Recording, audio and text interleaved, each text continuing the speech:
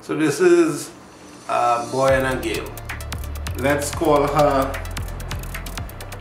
Casio. Let's call her Casio and let's call him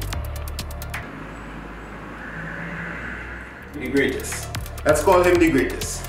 So let's say I had $300 to share between Casio and the greatest.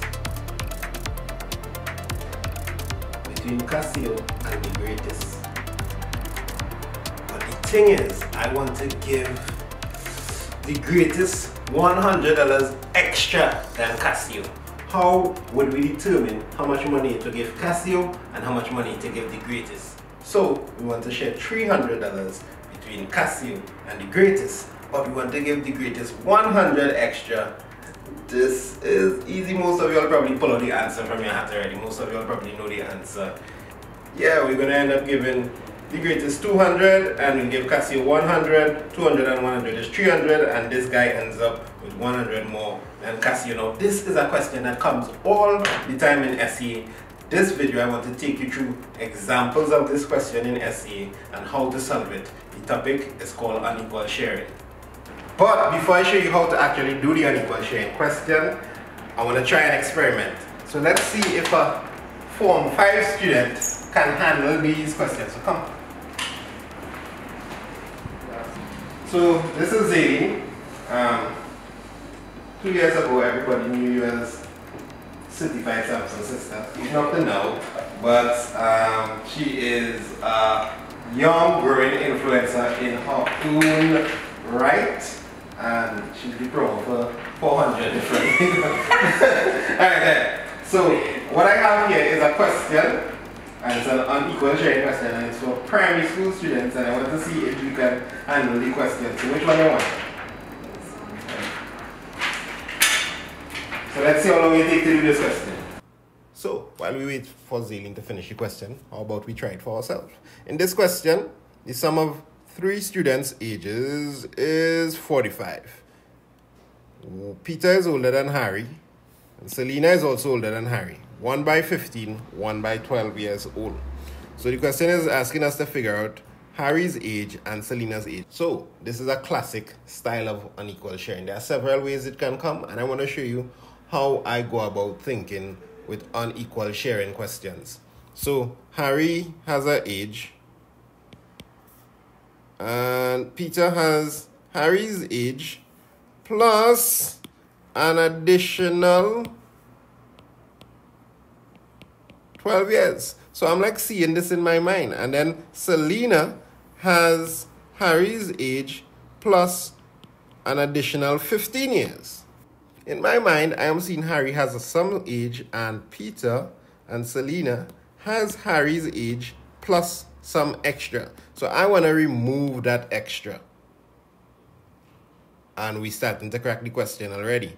So in all, they add up to 45 but the extra years that they have on Harry is 12 and 15. So that's 27 years they are older than Harry by together, Peter and Selena. So if I remove this, I get 18 years. And the idea with this is that 18 years represents three times Harry's age. Because this 12 and 15 is just extra years that Peter and Selena both have on Harry. So if I'm thinking about removing this extra years, I would just get Harry's age plus Harry's age plus Harry's age. How is that for you? So to find Harry's age, all I need to do is divide by 3 now, and that gives me 6 years. Additionally, to find Selena's age, I will just add back the additional years that she has on Harry, and I'll get 21, 15, and 6. So here's an example of how you can state the working to this question.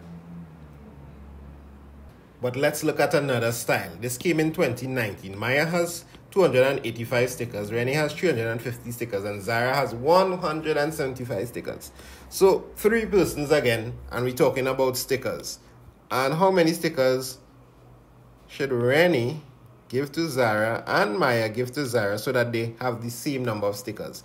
So once again, we have a quantity that's unequally shared and to solve the answer, we need to devise some kind of equal sharing among them. So what I will do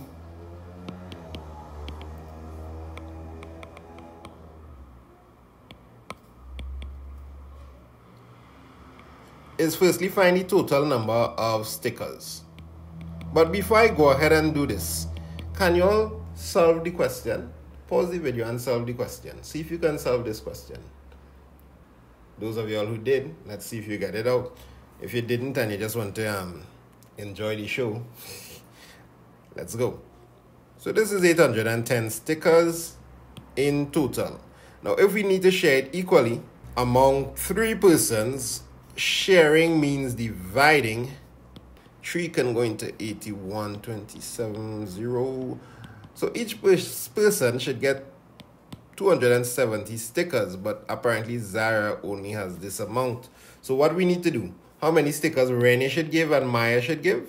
Well, Rennie, she has 350, but she really should have 270. So she needs to lose 80 stickers to Zara, and she would remain with her 270. Likewise, Maya, who has 285 stickers, needs to give 15 of her stickers to Zara so that she as well can have the 270. And just to double check, Zara will now end up with 175 plus the 80 from Renee plus the 15 from Maya, which you can work out to be 270 stickers. I don't know how to do this one. Sir. I don't know how to do this. You don't know how to do it? No. Um, let's keep recording again, just do that. So the sum of Harry, Peter, and Selena's ages. Wh- Where is that again? Yes, yeah, add up the excess ages. Mm-hmm. So there's a 12 year more than Harry, and there's a 15 year more than Harry. So you're adding up that, you get 27. Remove that from the 45. 45.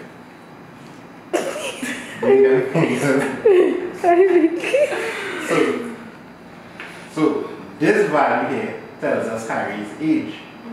So Harry's age is 6 because you remove the excess ages that excess age that Peter and Selena have. So there's 12 plus Harry, 15 plus Harry. So it comes like when I remove the excess, it's like if I have 3 Harrys. Mm-hmm. So dividing it by 3 will give me Harry's age.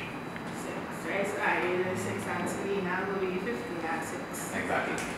Which is 15 and 62. She's doing an answer. so now that you have an idea of how to do the question, I'm going to give you another question. It's the same unequal sharing principle, and I want to see if you can do it again